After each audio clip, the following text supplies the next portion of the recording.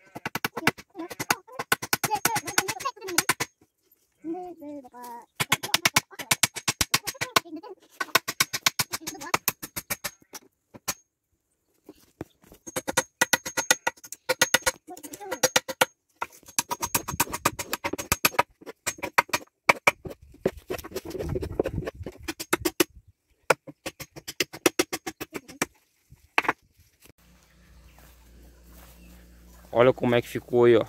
Nosso botadouro caseiro, feito aqui por mim mesmo. Vocês viram improvisado.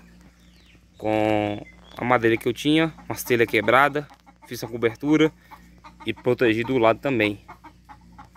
Ficou seis botador. Eu joguei um, joguei um fenozinho aqui em cima. Já pra logo logo elas começar a botar aqui, ó.